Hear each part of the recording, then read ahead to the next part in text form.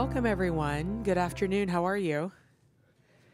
Good. I have um, the distinct honor of welcoming um, Salam Marayati to campus today uh, at Vanderbilt. He is somebody whose work um, I've admired for a long time and been familiar with, and also had a chance to get to know um, several years ago, and we've become friends through the process. Um, and I've learned a lot of I've learned a lot from him.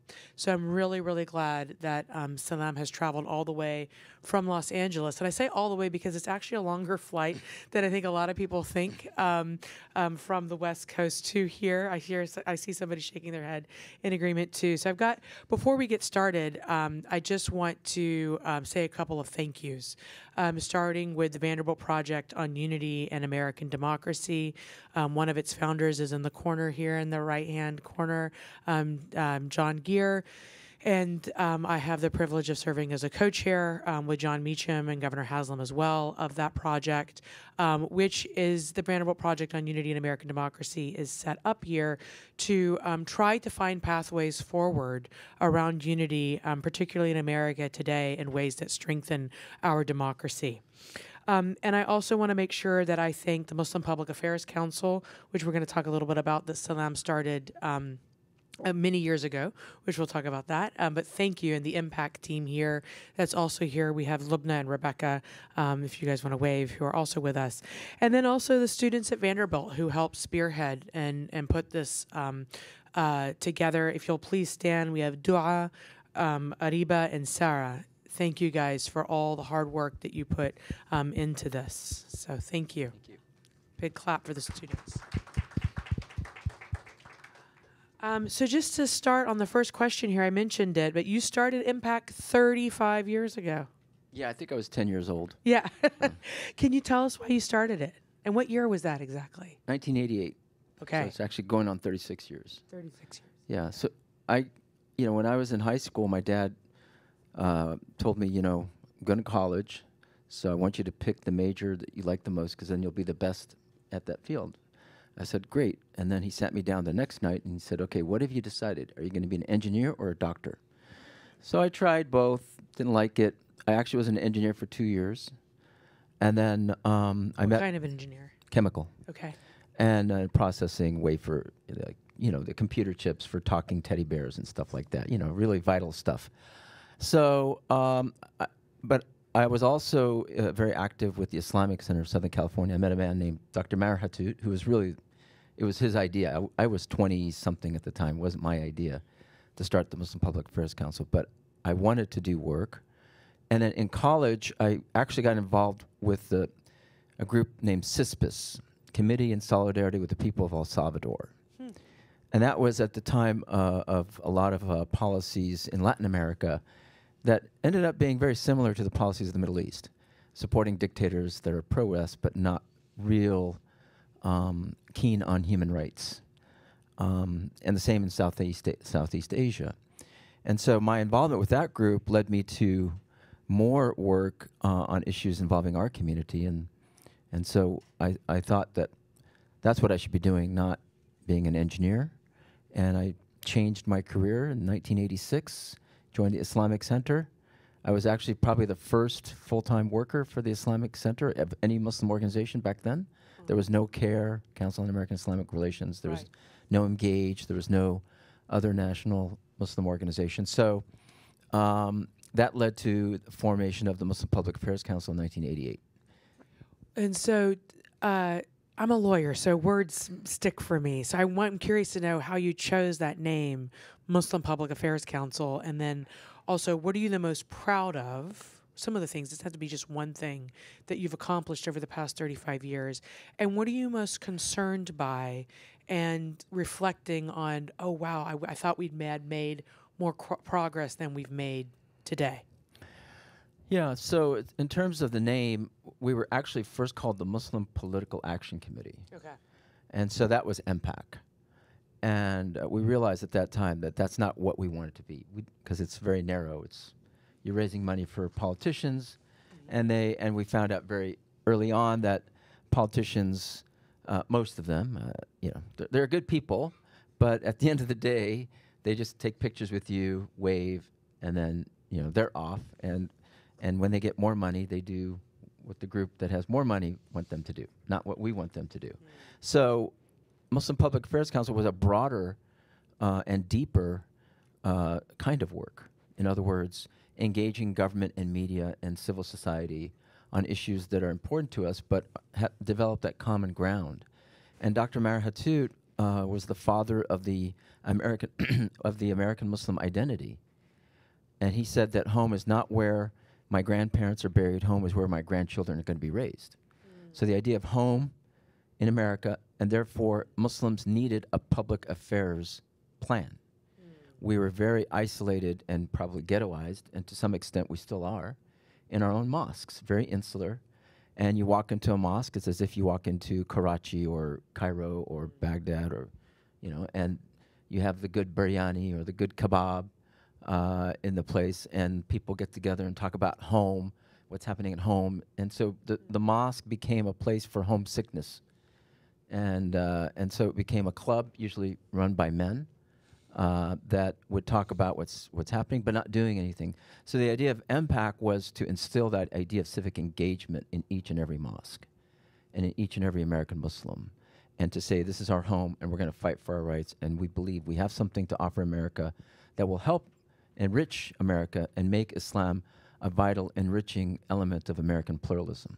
That's the idea of MPAC. Um, and the Saudis came and offered me $500,000 in 1988 to say, we want you to succeed, and if you just add a few board members to your committee, you know, we'll give you the 500,000. So, you know, of course, we said no. We didn't even say no, thank you. We just said no.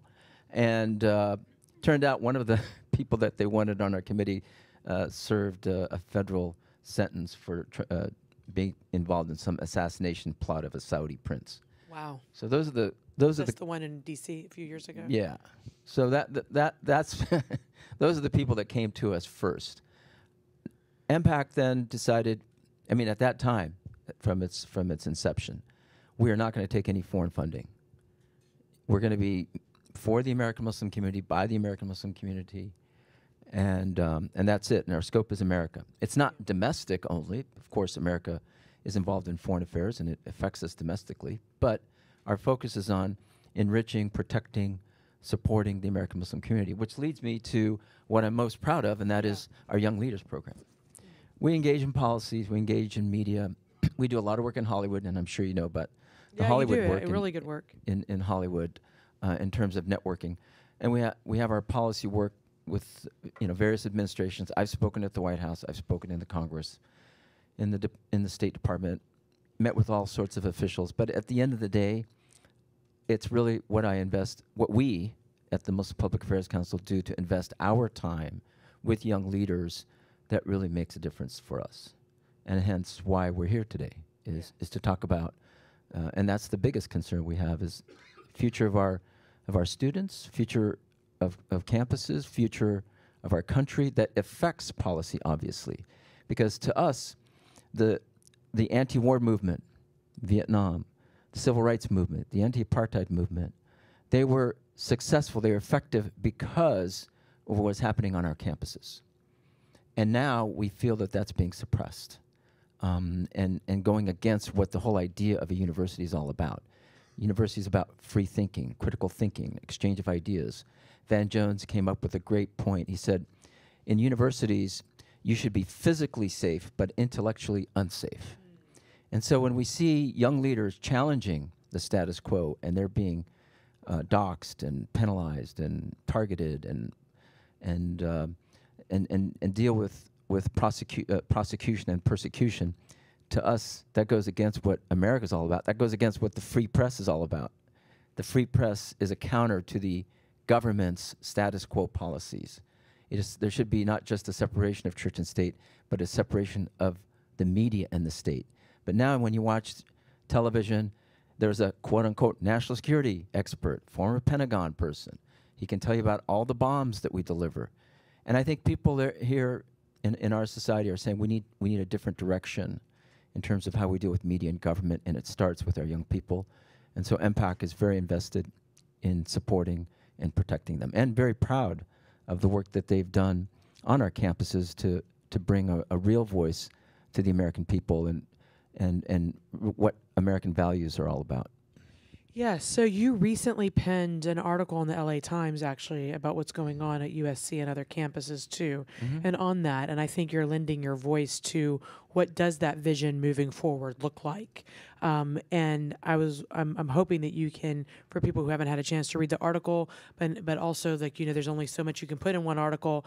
Um, what are the three key points you're hoping that people are taking away when they read um, um, that article? I I think the first point is what I just mentioned, that we should cherish our students. We should protect them, not penalize them, not target them, not exclude them, even though they are the valedictorian of the school, and because they have a one issue, is- and that's the one issue that's always I don't know why, but it's always gotten us um, um, attacked and targeted. It's because we have a different narrative on Palestine than what the establishment has. The establishment is pro Israel, it is blindly pro Israel, it is unwavering, uncritical, and then you come and criticize it, then you, you become uh, an enemy of the state, not an enemy against America, but an enemy of the national security apparatus. My bank account could be frozen, there will be surveillance in our community, there will be um, so many things that happened to me simply because I don't believe in in in that Zionist narrative. And I'm not saying that a person can have you know, shouldn't have a Zionist narrative. That's you know America's a free country. You can believe in whatever you want, but that's not what I believe in. I believe that Islam is, is the religion really that you know. There's a story in the Quran that you're you're fa- familiar with, Samar, that where the prophet went to Jerusalem and he ascended to the heavens and he prayed with all the prophets. Well, the significance of that story is that Islam believes in the unity of all these faiths. That, that we, at the end of the day, monotheistic faiths are all monotheistic, and we should be united at least in that understanding. You Christians can worship the way they want, Jews worship the way they want, they can believe whatever they want. Islam says we're supposed to protect all the monotheist, monotheistic faiths, faiths, and that's what it did for 1,300 years, including um, uh, Jewish communities. In fact, uh, Omar the second caliph, when he came to Jerusalem, and and uh, the the Romans left, he was wondering where are the Jews, and the Romans had kicked had had wiped them all out. He brought Jewish families back. Uh, during the Spanish Inquisition, Jews were persecuted. Uh, the Ottomans took about 400,000 Jews to become part of Muslim society. So that narrative is unheard of, unseen, unlearned, if that's a word. It's not in our textbooks. When I open up a textbook for seventh graders, that whole history is blotted out for some reason. And so we have a long ways to go in understanding our narrative, I mean, having American understanding of what that Islamic narrative is, and there are Islamic narratives, but we need to make a space for it in America. And to exclude it and to say that this is anti Semitic or it's anti American or it's a threat uh, somehow to our national security uh, goals, uh, it, it's ridiculous, to say the least. And so that is what we have to change, is to allow that narrative to become part of campus uh, uh, discourse, uh, media discourse, government discourse, and to this day, it is still suppressed. And anybody that comes forward and has that opinion is going to be targeted, is going to be criminalized, is going to be uh, isolated uh, and and and punished, and and that is what we're trying to change. That's the policy we have changed. It. Last thing about national security, national, and that's the one thing that we really aim to change um, in in our country here is the national security policy because the national security policy as it stands is not securing Americans. It's harming more Americans.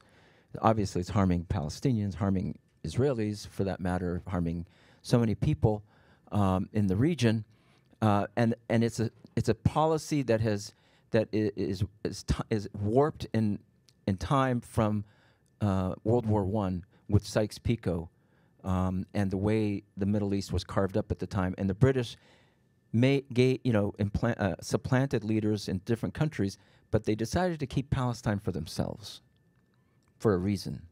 because to Islam and Muslims, Palestine is the heart of the Muslim world.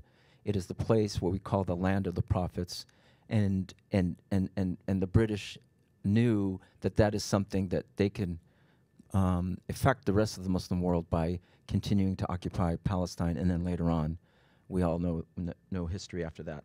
The last thing I want to say in terms of what we'd like to see more is that, you know, there's definitely uh, trauma that is taking place by witnessing a genocide and not being able to talk about it freely. Um, and, and, and again, all the uh, retaliatory uh, measures taken against uh, our students. And so that trauma needs to be addressed.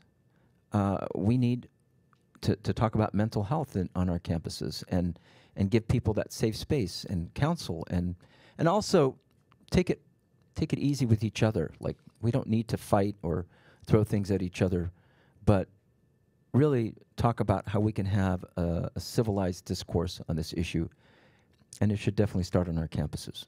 Well, that was rich. I mean, there's so much to unpack there. I have another. I had another question written, but before I get to that, um, I wanted to just ask: Is the is the frame right?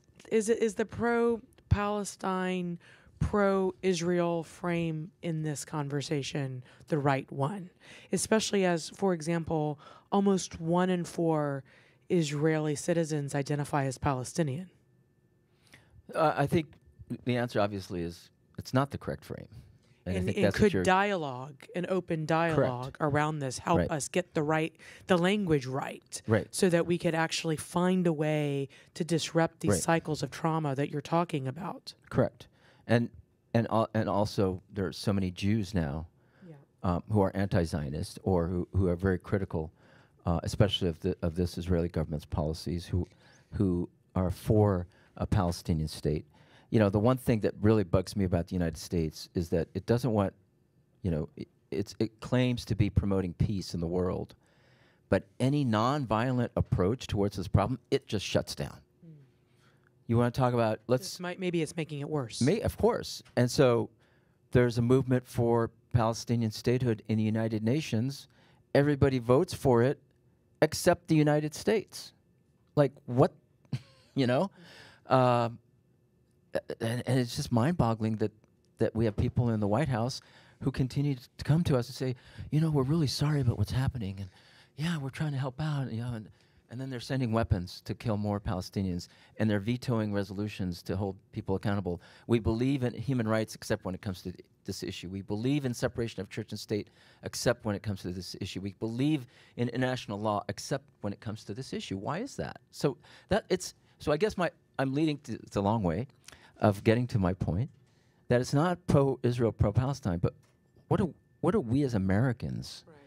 Doing about? What are we as Amer? How are we talking about it as Americans? Yes, put aside the religious label, the ideological labels, all that stuff. So how can we as Americans really have a conversation? We just p- passed a bill sending what twenty six billion dollars more, At least. and you know, as a famous singer says, we, we, we send money for war, but we can't send money for the poor. Um, so that that that to me signals a need for us to have a discussion about it as first and foremost as Americans, American responsibility, American cul- culpability, American vision for how we want to see the United States handle this issue. And I think most Americans, when they hear the words national security, they go, "Okay, well, we don't know what to do about national security. That's too too."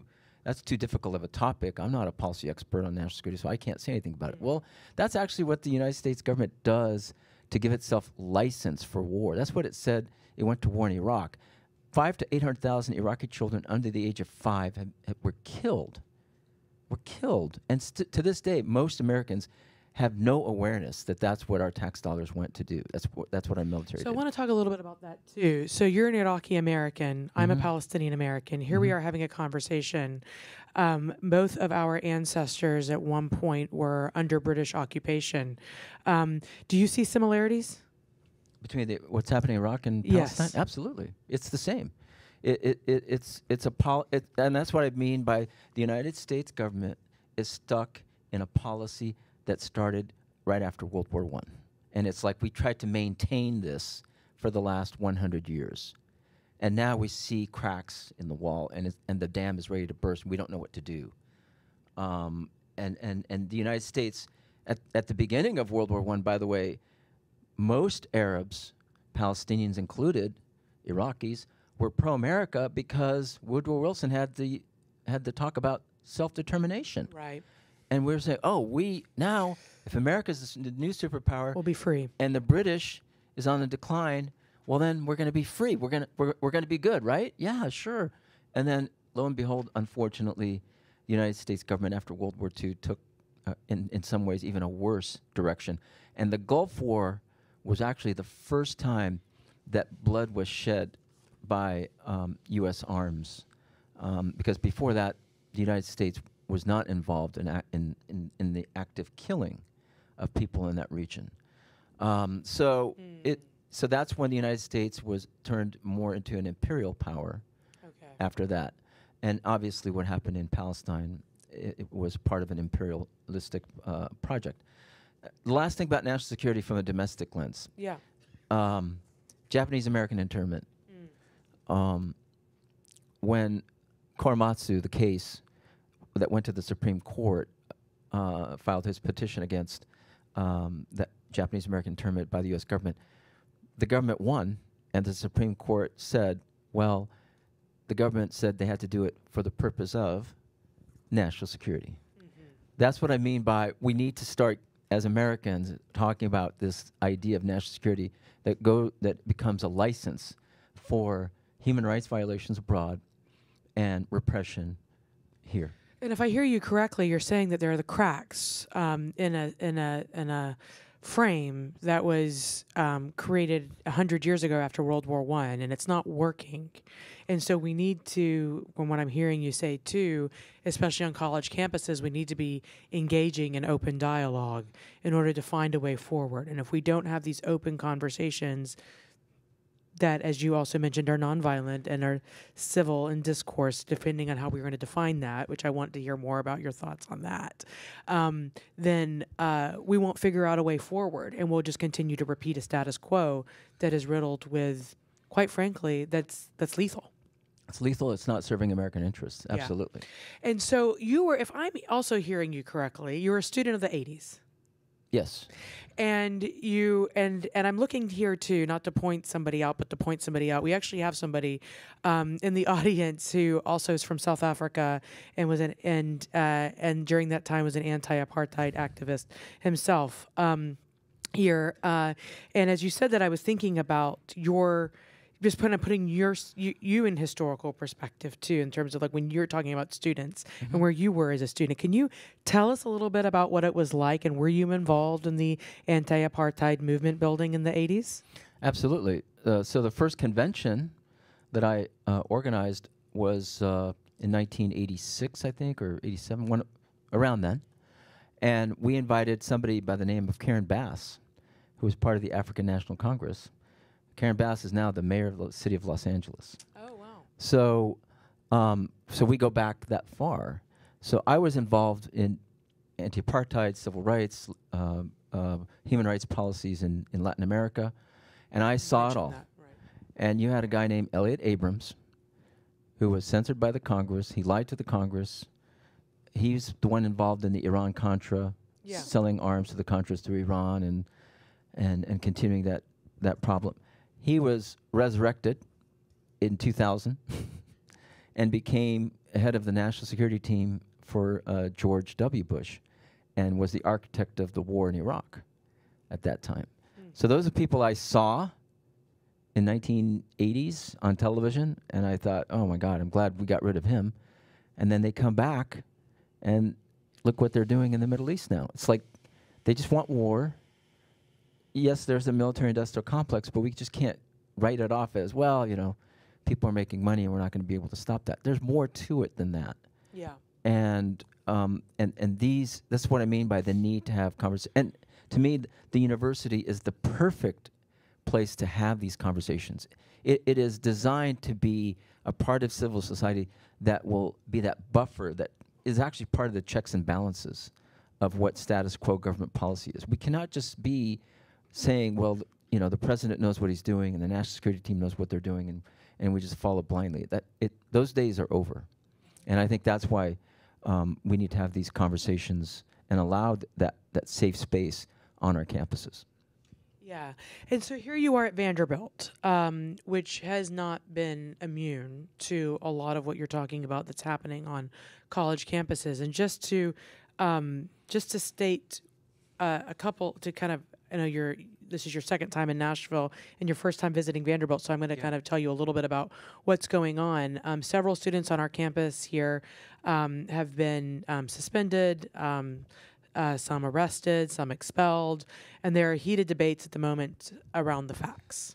Um, and the administration arrested a journalist for covering a protest on campus. Um, and um, there was an attempt to bring charges against him for trespassing, and those um, that attempt was unsuccessful, uh, and he was released.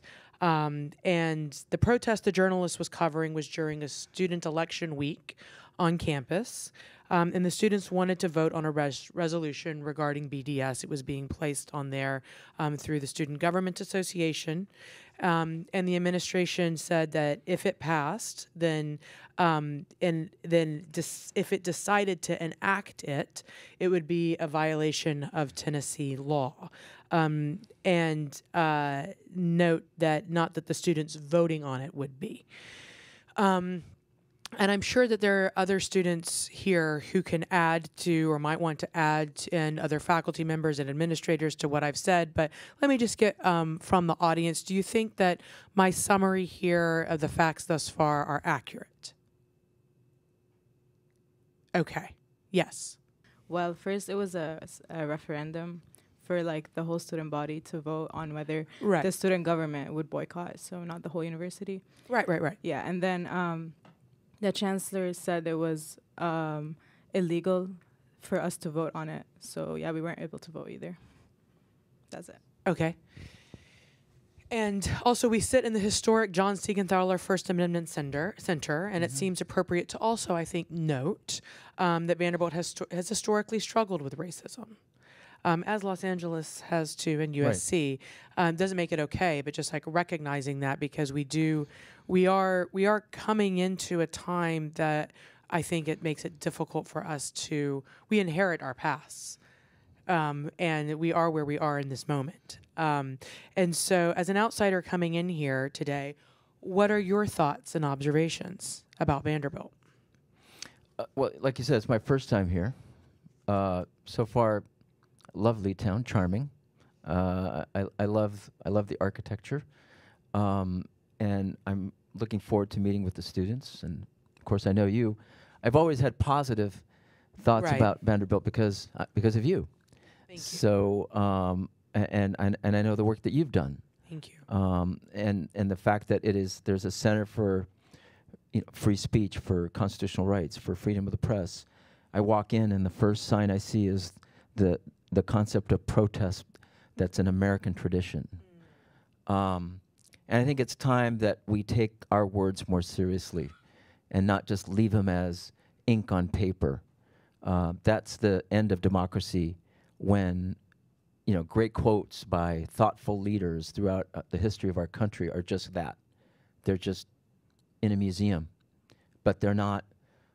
They're not embraced. They're not manifested. They're not pursued, and I think that's where we're going as a country is the end of that pursuit of happiness. And so, um, I hope that Vanderbilt can be one of those places where we have that idea of reinvigoration of, of these idea ideals and I believe that American Muslims can be uh, an integral part of that process because we know, we know what dictatorships are like. Many of us came from my my family fled Saddam Hussein and and the Ba'ath Party, um, so we know exactly what tyranny is all about, and we don't want to see our country here um, move away from democracy.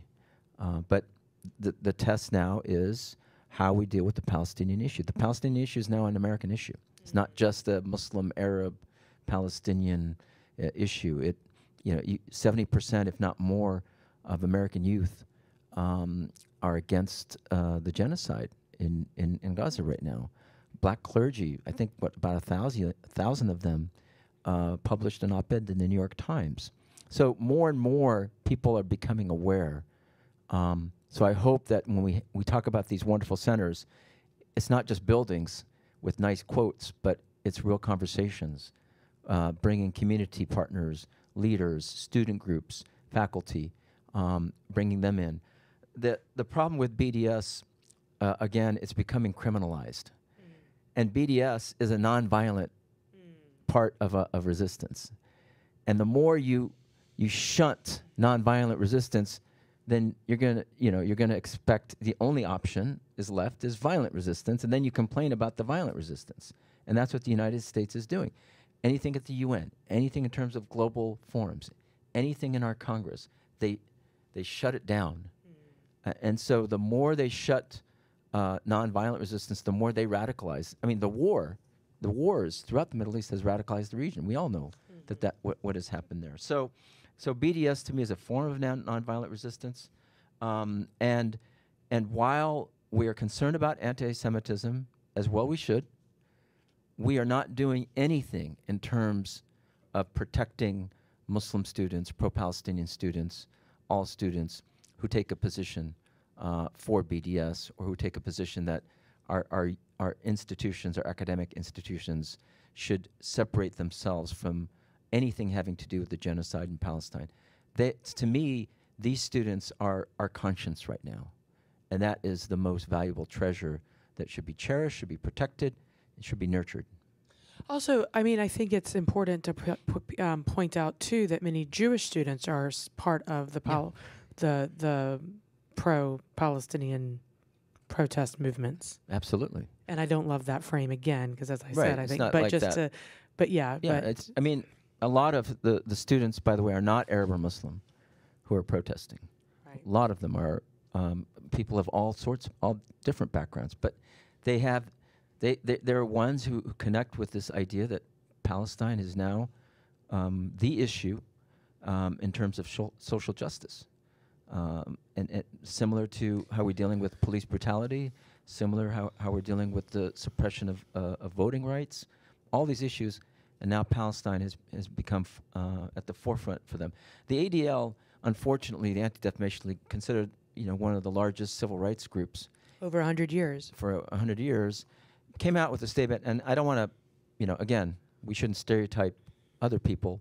It's Jonathan Greenblatt, their their their president. He made a statement that was very dangerous. He said that the Students for Justice in Palestine um, and and all pro-Palestinian students should be investigated. Student groups should be investigated for quote unquote material support of foreign terrorist organizations that and, and if you understand counterterrorism policy, there's a distinction between domestic terrorism and um, foreign terrorism. Domestic terrorists are actually protected by the First Amendment and, and, and by the Bill of Rights. They, they, they, can, they can go and talk all they want and demonstrate. They can do January 6th and, and, and, and be, be viewed as, well, you know, they're just protesting and they have the right to protest and, you know, they're instigating a coup and they're okay. Uh, kind of. Then uh, groups that come and support the Palestinian issue, somehow they're a threat to our society, they're existential threat. And so he uses the term foreign terrorist organization because there's a different designation, a different s- regimen of policies now that you can conduct surveillance on individuals and communities. And I think a lot of people don't realize that. Yeah, go ahead. And you can you can freeze their bank accounts and you can uh, you can detain them uh, uh, without probable cause, and that is that is unleashing the national security apparatus against a whole community, Yeah, it's weaponizing it. weaponizing. Yeah, that's right. And I and and I would just note too to just kind of add on this. Um, uh, a, a, a, a close Israeli American friend of mine recently said that this um, positioning of pro Palestinian versus pro Israeli or anti Palestinian versus anti Israeli is a false frame. And that really the frame is where the issue is, and I want I'm curious if you if you agree with this. You kind of said it already in, in your in your words, but people who are peacemakers and who want peace versus people who are conflict profiteers or are warmongers. What's the question? So So do you agree with the frame of is it really the two oh, sides see what here you're not Palestinian versus Israelis, but rather people who want peace versus people I who think that's an excellent frame. I, I agree with that. And by the way, just because you're a peacemaker doesn't mean you're not an agitator. I mean, Martin Right. Luther King, you know, in his letter from Birmingham Birmingham jail, he says, "Hey, I'm agitating because you can't negotiate with people that are supporting unjust policies. And if they're unjust policies, there should be civil disobedience. That's what he was all about. And he was viewed as a militant at that time. I mean, right now we romanticize, you know, Martin Luther King, what a great guy, and he wanted uh, everybody to get along, and, you know, he, he wanted peace between. Yes, he wanted exactly that. But the way he went through it, right. he says, I don't want negative peace where I acquiesce to racism and, and, and to um, injustice. I want positive peace, which is the peace with justice. Right. And that's the distinction. And if you want to talk about framing, that's what we're talking about. Yeah. Those who want positive peace, not negative peace. I like that. So tell me, what advice would you give university administrators of Vanderbilt right now? Well, I think, first of all, they should lobby the Tennessee state legislature that BDS should not be criminalized, if that's the case in Tennessee. I don't know what Tennessee state law is, but I know it is in some states. Uh, but they should go and advocate for their students and say, our students said this, and I represent, if I'm an administrator, I represent the students. Right. You know, th- they, they, are, they are what make universities universities. And last question before we open it up to the audience here, and that is, um, again, you see a lot of this as uh, Muslim versus Jewish framing. Oh, yeah, it's again. awful. I hate that. Right. Yeah. So, and also, there's not a lot of conversations about enough, I think, and I'm more about what does it mean to want to counter anti Palestinian racism? What does it mean to want to counter anti Arab racism? What does it mean to counter anti Semitism? What does it mean to counter anti Muslim sentiment? Mm-hmm. And as someone who has been working on these issues for the per- past 35 years, and and who went through 9/11 too and the war in Iraq and has witnessed the unfolding of the war on terror what do you see now what are you observing and what do you what is your vision for all of us in doing this work with you moving forward Um, if I get, if I come up with the answers, maybe you can help me write a book on that because I don't know uh, right right away uh, what the answers are. However, I'll, I'll give it a try. Uh, first of all, the Muslim Jewish framing is terrible. Uh, Muslim versus Jew. It's not Muslim versus Jew. It, it's about land. It's about rights. It's about people. so what are Palestinians wanting Uh, they want what everybody wants. They want justice, freedom, and equality. And right now, it's not working for them, obviously. And as you know, as many people here probably already know, there is a group called Palestinian Christians. And when you have the Muslim Jewish framing, you erase the whole history of Palestinian Christians and Arab Christians, for that matter, who have been part and parcel of that civilization for the last 2,000 years. And Islam did not eradicate them. Islam says, no, you're supposed to protect it. There are churches in Gaza. People were just amazed that there was a church in Gaza and, and, and Christians in Gaza. So um, th- that's, that's number one. Number two, I, I see this, and I think I alluded to this earlier. It's just as much an internal threat to America as it is a threat to the Middle East. In other words, we are going through an existential phase of our society. Are we going to work uh, as a true democracy and include these voices and have real conversations, or are we just going to watch the Congress and the administration continue to fund genocide week in, week out? And that's like that's all they can do. They they, they, they fund wars. They fund. You can't get a funding for homelessness in the Congress, but you can fund uh, a war over and over again, and then they complain about the debt uh, and the deficit. And uh, the other part of this existential issue is that is, th- is America representing the, the people who are oppressed throughout the world? I mean, if you go to Washington now and you go to all the monuments, they talk about we are here to liberate, not to conquer. W- Okay, what does that mean? Does, does that have any value anymore? If if our democratic institutions are not serving our people, then they're not democratic institutions anymore. It's the it's the beginning of the end of democracy. I think that is what I mean by you know America going through an existential um, phase. And it's just amazing that you know Donald Trump now is running as a peace candidate against Joe Biden. You know that he's the one who's going to end endless wars, and he's the one who can make a deal between the Ukraine and Russia, and he's the one that can resolve all these.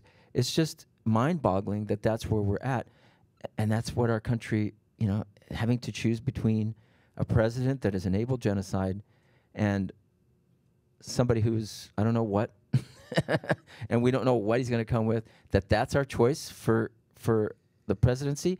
So what I see is I think the Democratic National Convention is going to be interesting because in 1968 the National Democratic National Convention was in Chicago. Right. There was a war going on. Lyndon Baines Johnson stepped down because he knew he could not be elected during that war because there was so much sentiment against the war. Robert F. Kennedy should have been the presidential candidate, but he was assassinated by Sirhan Sirhan. Got yeah, it's a terrible, terrible event in our in our history, and the Democrats lost. And uh, now we still have Biden, who thinks he should be president. I think he should step down. I think it should be an open convention and find a, a candidate who represents the base of the Democratic Party. The base of the Democratic Party is against this genocide, and that and that is, is some of the existential issues that our Democratic Party is facing right now. Powerful. You've given us a lot to think about. Thank you for Thank that. you. Let's open it up to questions. We've got 10 to 15 minutes. Uh, who is that person raising her hand? She happens to be one of our prides. Uh, she's a, a fellow at, uh, for our Congressional Leadership Development Program. Aha. Um, okay, so I had a State your question. name. Um, hi, my name is Dara. Um, and so Vanderbilt has a kind of like principle of neutrality that they um, try to use. It's kind of like um, the chancellor's thing. Like he's he's like you know we were not going to make like a definitive statement on which side we support um, because universities should, remain neutral to encourage dialogue and things like that. Um, however, there was an email sent out by the chancellor um, when the genocide first began, um, where he um, didn't necessarily take a side, like said, "Oh, I'm pro-Palestinian, pro-Israeli," but he was like, you know, we stand with our Jewish students, we stand with um, our, our, you know, Jewish community on campus that's been affected by this, um, and up until now, there's been no similar email like that. Um, you know, showing support to Palestinian students on campus, Muslim students on campus who, like you said, are suffering our mental health. Um, it's a lot to have to be dealing with this, seeing our people getting massacred abroad, um, and then also having to deal with people on campus telling us that, you know, uh, that we're terrorists or whatever the, the case may be. Um, and then also now seeing that students are getting expelled for their views um, you know kind of what do you have to say to universities that promote this idea of neutrality um, but then refuse to stand against genocide when obviously like looking back for example a lot of universities um, did a lot of things that i know they probably regret during the civil rights movement. Uni- this university itself expelled um, james lawson um, and you know now has a building named after him kind of like touting his his legacy. Um, so you know kind of how do you see the university looking back at the way that they handled the situation um, and what do you kind of have to say about this concept Yeah. of neutrality That's an excellent question. Um, yeah, and I think, I hope we can get to the point where, you know, when it punished Jim James Lawson uh, back then, and then cherished and and celebrated James Lawson later. I hope we can get to that point for students who are being expelled now. I, I don't see that path. Uh, I see it going down even uh, a very slippery slope of enabling, acquiescing to, and supporting genocide. That's so. This idea of neutrality is not. That's not neutral. It's not neutral when you are punishing one side, and you are threatening um, people's not only reputations but their careers, their livelihood. Um, that's not neutrality. And then on the issue of neutrality, we were not neutral. We were not neutral on the issue of apartheid as students. We were not neutral on the issue of what was happening in Latin America. We were not neutral on the issue of civil rights. We're not neutral on the issue of war in Vietnam and how many millions of people were killed there. So, of course, and, and by the way, these administrators, some of them, I don't know about the administrators here, but yeah, I, I remember having a discussion with Eric Holder. Eric Holder was the Attorney General of the United States, and there was a group called the LA, I mean, the Irvine 11, who were arrested for protesting uh, an Israeli ambassador's speech, and then they were actually convicted. And you know how sometimes you get arrested, it's a misdemeanor. You go, they they record it, and then you, you you're let go after that. These people were were were charged with felonies. Never happened. And I asked Eric Holder, I said, you know, what do you think about that? He goes, well, that's kind of weird because I used to occupy buildings when I was a student. Errol Southers of the University of Southern California, who's in charge of campus safety, he was involved in in in, in the cancellation of the Muslim valedictorian, uh, Asna Tabassum.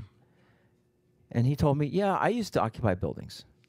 So there's there's a hypocrisy, and I'm not, I, you know, these are good friends of mine. I don't want to, I'm not mentioning them, you know, to insult them, but I'm just saying, I, I don't understand this mentality that th- there's a generation that are, you know, administrators in our campuses that were occupy occupying buildings, that were protesting because that's what students do, right? If you really make want to make a meaning meaningful experience in campuses, you get involved in these issues. Either you debate people or you go a protest and you you know you feel like you got to do something. That's what they did, and now they're punishing students who are doing that or allowing the punishment of students who do that. Um, and, and so I, I would just I would just challenge this idea of neutrality that you cannot. My conscience will will not allow me to be. Am I neutral on the Holocaust? No. So if I lived in you know at that time, I would be fighting against them, and the Germans unfortunately, they committed, you know, they committed a, a war crime, war crimes against the Jewish people then, and now they're enabling war crimes against the Palestinians by sending weapons to eliminate uh, Palestine as we know it. So, I, you know, this idea of neutrality, I was never, I, I, I never bought into that. And um, and if they want to be really balanced, if that's really what they mean, then they would be supporting and protecting students who are on on that side of you know sup- uh, uh, of opposing the genocide. Uh, Fanie. I'll hold it. I'll hold it. Thank you. Um, uh, Mr. Al-Marayati, Fanie du Toit from Cape Town, South Africa. Um, uh, first of all, I just want to acknowledge um, the bravery of the students on this campus who have stood up uh, against um, against what seems an overwhelming uh, onslaught. And uh, I didn't know about this personally until I arrived a few days ago, and I was taken on a on a tour around the campus, and I was mightily impressed by what these students have been doing. Um, I secondly want to say that I'm glad uh, you didn't become an engineer, and that uh, that that you. My dad did not, but anyway, it's, I- it's okay. I, am sure, we, Uh, but we- he's proud of our, our I could now. bring him Yeah. around to that. Uh, Yes. at some point. But then um, also, as a South African, I just want to assure these young people that you have a friend in South Africa, that we stand by you, that we are in solidarity with you, that we see your struggle, uh, we see the neglect uh, of your humanity, we see the way the world is treating you. And, uh, you know, I'm a white South African. Uh, I grew up under apartheid as a beneficiary of apartheid. I'm a Christian. And so, you know, there's every reason for me to be in the other camp if we want to go into those uh, that terminology. But the country uh, and the commitment to human rights for everybody has taken me in a different direction. Direction now where I can clearly see through my white eyes, my Christian eyes, the injustice, the fundamental injustice that is being done to the Palestinian people. And so, and I would say South African students, by and large, are supportive of your struggle. Uh, we love you. We, we can't wait for the day that you're liberated. And we will do everything we can to support the struggle. Um, I'm proud of the country for going to the court and to put that on the international agenda. I think, incidentally, that is a big step forward for international justice to, to, actually be able, from a small country, to challenge the might of this country. I also want to just remind you that you are in the eye of the battle. here is where the cultural arguments are being formulated that support the current situation in the Middle East. And you are in the eye of this battle and, and know by and large the rest of the world are with you. You are in the majority. Um, there has been people who've said to South Africa, why do you go out on a limb here? You know, against uh, your number one trading partner and your number two trading partner. A- and South Africa has answered, actually, we're not going out on a limb. We are actually representing what we think is a growing majority of people in the world. And so, so, so, my own view is that it is a question of time. I also just want to say the sorrow, the sorrow I feel personally and, and my family and all of us for the people of Gaza. And, and that our thoughts and prayers are every day with all of those people and with you, indeed. Finally, I do not think governments change, uh, Mr. Al-Marayati, uh, through logic, logical arguments, not even moral arguments. Right. There are two things that make governments change. The one is um, strategic interest, and the other is embarrassment. And in South Africa, what, what made the West withdraw their support from apartheid was a combination of the end of the Cold War and embarrass- embarrassment with the actions of the apartheid government that became increasingly um, uh, oppressive. So I think we need to we need to really, where we see people not living up to the values that we know we want to see, as governments, we need to embarrass them, embarrass them to the point where they will change course. And uh, uh, and I think for the large majority of people out there, this is already a fait accompli. Final thing, just from my side, and sorry it's been long, but I just wanted to get it off my heart. Desmond Tutu in South Africa said, if in a time of oppression you, you are neutral, you're actually standing with the oppressor. He was clear on that. So I think this is, uh, this is quite simple. I think, I think uh, we need to challenge also the university authorities on that. But thank you very much. Thank you. And all our support to you. Thank you. Um, thank you very much. It's very, very heartwarming to hear that. Um, just want to let you know that we did honor the South African um, foreign minister at the embassy in, in Washington, D.C. Uh, we actually had two events one thanking the government of South Africa for doing something that no Arab or Muslim uh, country could do. To, uh, to us, they were more Islamic uh, in terms of working for, for justice than any of these uh, Muslim, so-called Muslim leaders.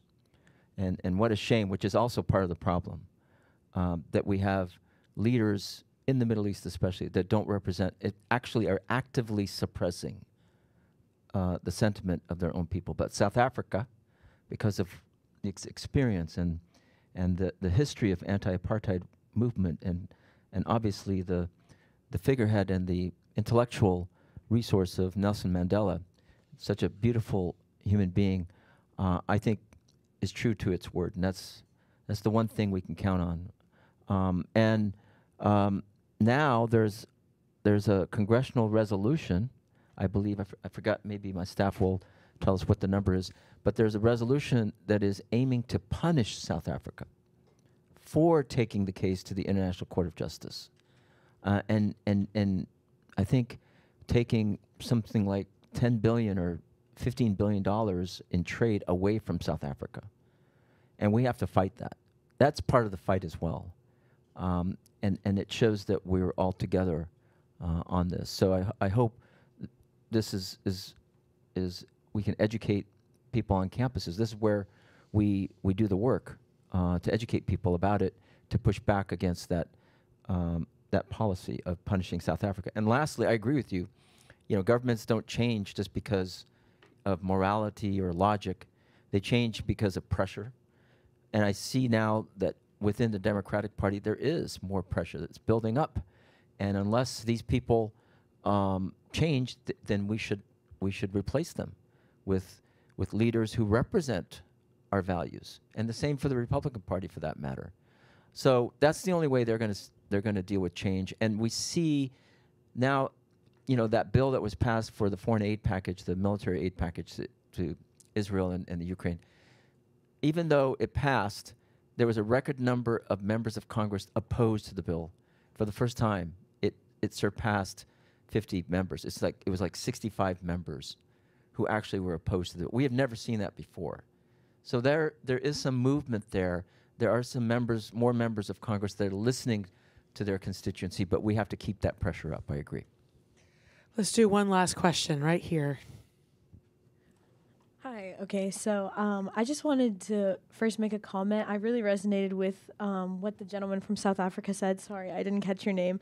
Um, but I also just wanted to say, like, regarding the summary of events given earlier in the talk, um, I think one of our biggest issues that we face is that our administration constantly pushes this idea of dialogue and pushes the emphasizes that you know our principal neutrality allows for open dialogue but um, then we see our administrators, especially high level administrators like our chancellor, refuse to even speak with our Students for Justice in Palestine or our uh, Divest Coalition about the referendum or um, even about the so called illegality of the referendum.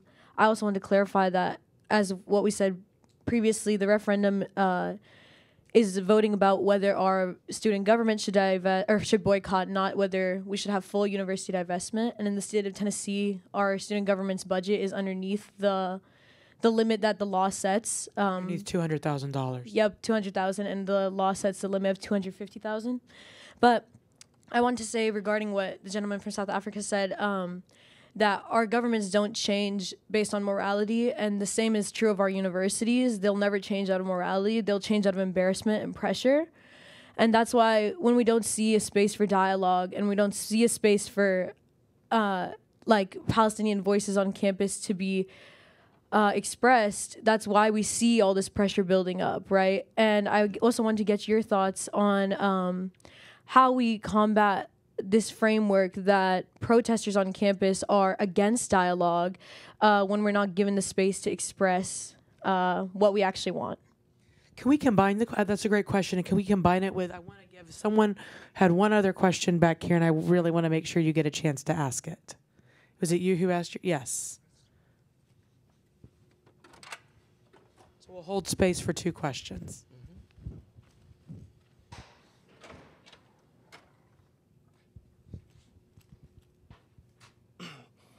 Uh, Assalamu alaikum. Hello. Uh, my name is Hunter. I'm a uh, senior here at Vanderbilt. I'm about to graduate in a couple of weeks, which is crazy. But for me, and I feel like, and I have a hunch for a lot of people in this room, there is a life like kind of pre the, what's currently going on. I would say October 7th, but I just hate that that's the framework of this entire narrative is October 7th.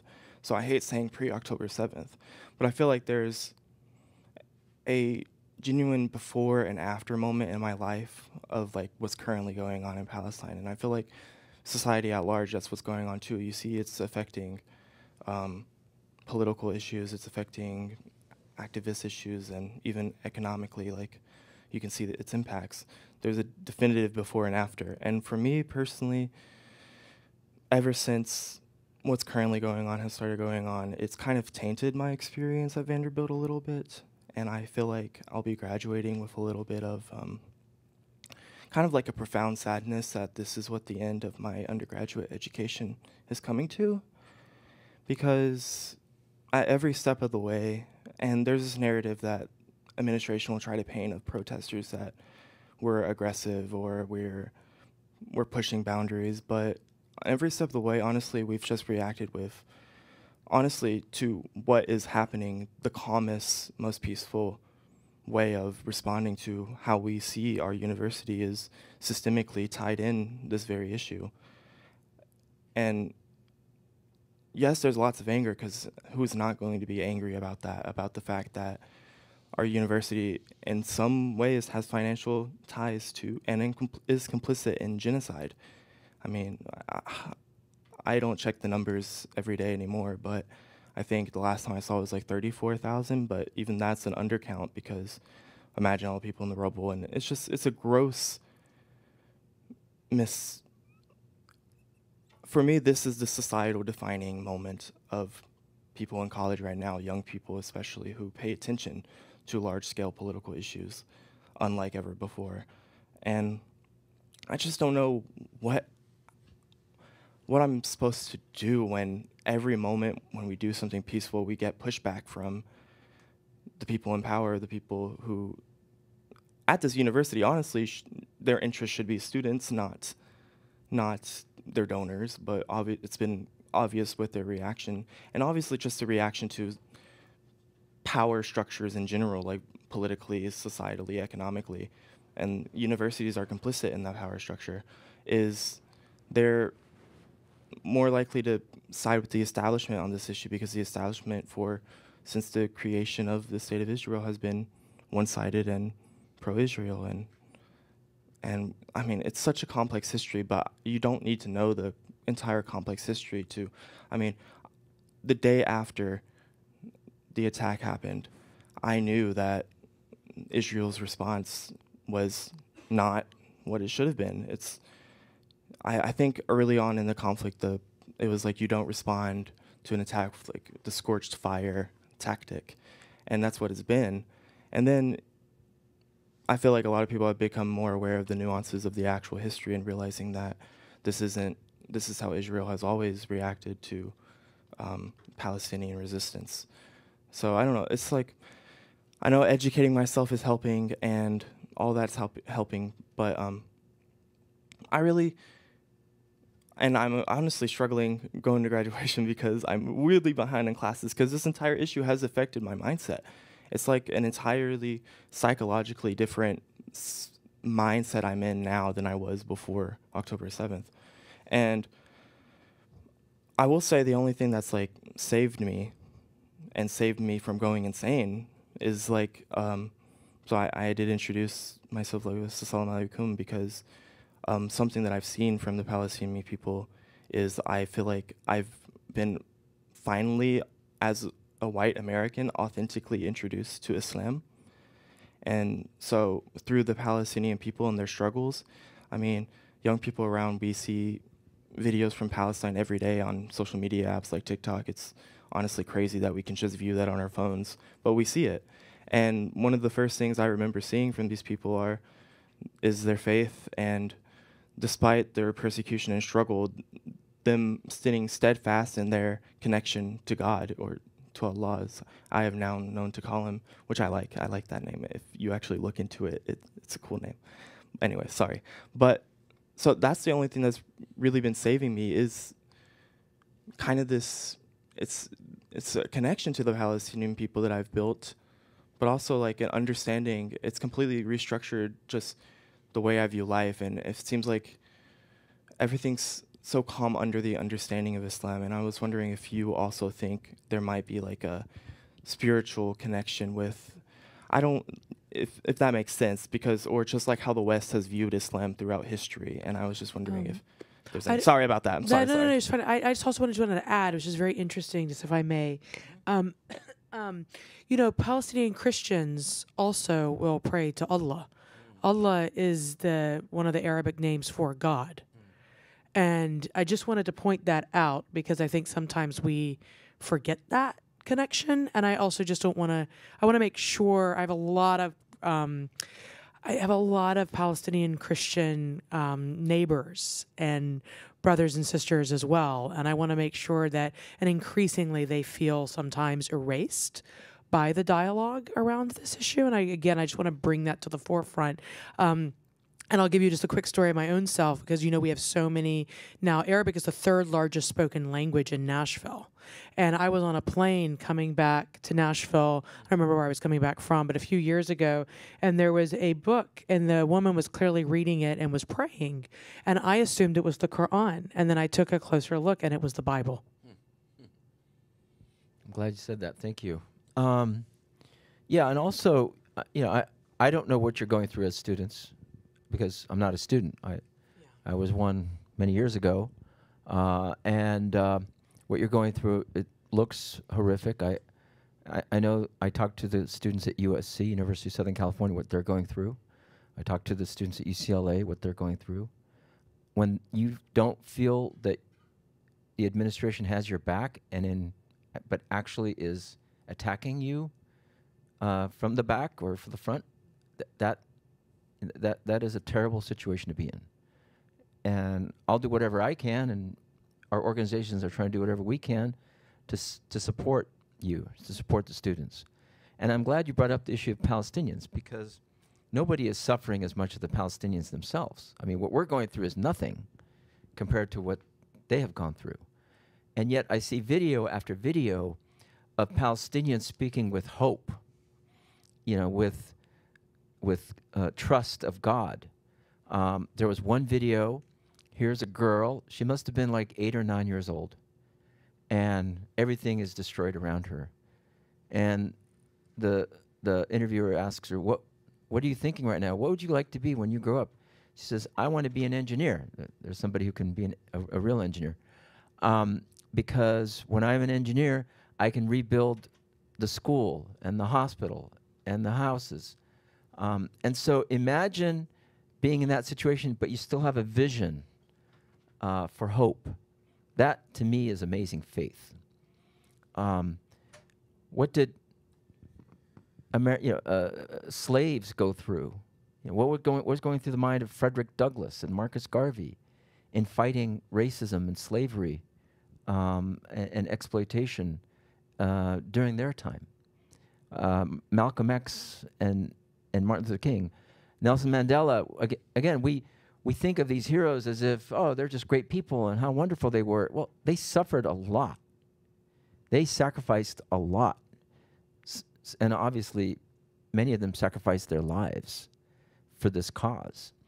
And so that should give you hope. That should give you inspiration. That should give you a sense that this is this is bigger than me. You know, when you're flying on a plane and you see you look down and you see these small boxes, that's a home. But when, so when you're looking at it from there, it's just a speck.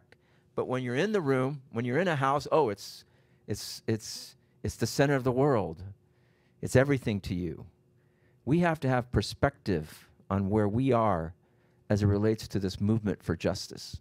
We we are just there to move the ball 5 yards and the next group will come after us and move it uh, some more.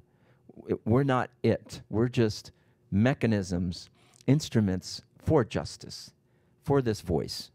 And if that's all we can do, have a voice and preserve that voice, then that's what we, we do.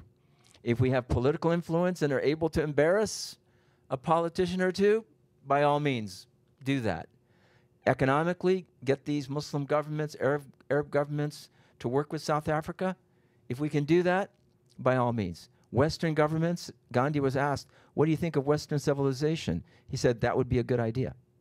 If we can get people to be more civilized in the name of Western civilization, by all means, let's do that.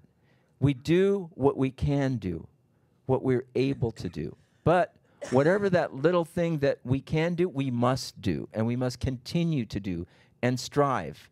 The Quran talks about striving. You know, keep marching on and strive for the cause of God. That's the best thing for you if you only knew. So that that that struggle in and of itself, and even in sports, they say, yeah, the you know when I get the trophy, that's a nice event, but that struggle that we took on the way to the championship, that's something I will never let go of. That's something I will cherish for the rest of my life. And I think what you're going through on campus, it's a struggle, but it, it's something that you will look back on and say, this is what built character in me. This is what made me who I am today a father, a, son- uh, an uncle, a worker, a boss, whatever, a political leader, a civic uh, uh, participant. It made me who I am today, and therefore God gave me that opportunity of the struggle that, that I should never let go of, I should always cherish. To me, that's the spiritual, spiritual connection. When Moses met with God, what did God tell him? Here, here's, here's a prophet who can who, you can't get closer to God than that, right? He's with God. And, and God says, You better go back down because your people are suffering from a test. It's like, why did you why did you come in haste to meet with me when you need to be with your people? So that that's the message is to be in community, be with people. That's what what being close to God is. And then the last thing in terms of uh, dialogue, yeah, we have something called faith washing in interfaith groups, where interfaith dialogue is used to whitewash the crimes committed against the Palestinian people. But does that mean that we don't engage? No. Again, our book, the Bible, the Torah, all, all these great books say you are here to serve humanity. You are here for the sake of human dignity, and therefore you must engage.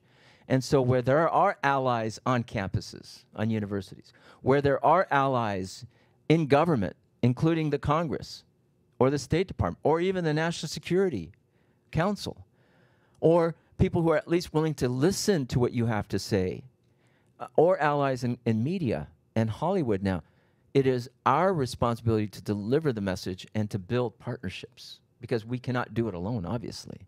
But we can be part of that leadership that makes America true to what its foundation is. Its foundations, you know, in the Constitution. We should not allow people to shred the Constitution before our very eyes. We should resist that first and foremost and preserve the Constitution. We, the people, here to form uh, to uh, form a perf- more per- thank you to, you're the expert to form a more perfect union establish justice that's the cornerstone of our work And I know we're over time, but I just wanted to say one thing and then give you the last word, and that is 100 year question two about the spiritual nature of the place. Um, and I know one person, I know the answer to one person in this room to this question I'm about to ask. How many of you have been to the Holy Land? So, uh, less than five.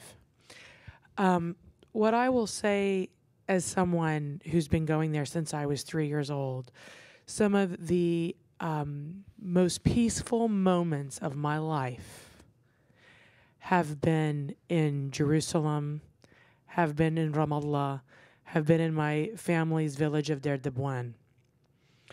And um, it's an overwhelming spiritual experience that I hope that everybody in this room gets a chance to have. And you talk about Palestinian hope, is one of my I remember too as a little kid being there when there wasn't barbed wire um, all over the place, and then there weren't checkpoints everywhere, and when um, there wasn't what it felt like was just um, police in so many places uh, and there's nothing nothing wrong with police but i mean what i mean to say is with it could just uh, with what machine guns in some of the most sacred places for abrahamic traditions and faiths. And it wasn't there which means that it doesn't have to always be there. And that's kind of the hope and the vision that I would say is what would it be like in thinking about that to walk around Jerusalem again without there being so much of a police state presence as you're walking through that journey and that spiritual journey to experience your faith. And again, just to say, it is a very and and that I will say though too, and in recent times I have experienced a, a certain feeling of peace and calmness from even being there, and there is obviously a lot of irony in that, in that and feeling that with everything that is going on around you, but it is a spiritual place. And it's a place for, in my opinion, that the more people can feel that spiritual connection, as many people as possible, making it accessible. That's what religious freedom is also is about, is for as many people to feel like they can access that on this earth as possible. Yes, and we have a Palestinian here in the audience. Yeah, I I appreciate you talking about the spiritual like experience that you had in Jerusalem But as a Palestinian who was born in Palestine and grew up there, I've never seen a life without the apartheid wall or without checkpoints. Yeah. And my only time experiencing Jerusalem was when I had to get my visa to come here, when they allowed me to be there. So, in order to get And to that was ex- your only time. that was my only time. And in order to be able to experience this like spiritual experience that you're talking about, that's why we need to advocate for a free Palestine because otherwise nobody would be able to even be there. Eh, right. And that's that Yeah. access point for every single person possible to access it without barrier. And it's what's so interesting too is the time I'm talking about of walking around. Do you know when that was? You know which decade? I'm going to date myself. The 1980s. Well, I mean, I and I agree. I think our job, every religion's job, you know, you, you read about Moses and Pharaoh and children of Israel. You re- read about Jesus and, and the Roman Empire. and Re- read about Muhammad and the Quraysh.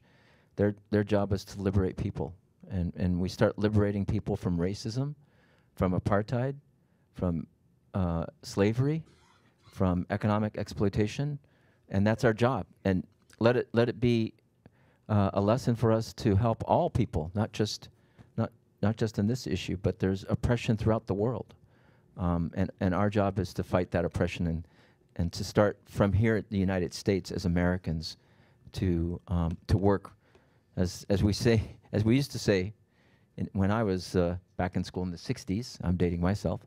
Um, liberty and justice for all. What does that mean? That that should not just be words um, that that are chanted, but words that mean something. So that's that I, I, I feel like this is this is just another starting point. I've gone through so many starting points in my in my work. Here's another starting point for being involved in a liberation struggle. And and I'm very proud to be part of that that liberation struggle. And I'm proud of all the work you do. And I'm very thankful for the university at least offering the opportunity for this this conversation. Thank you all.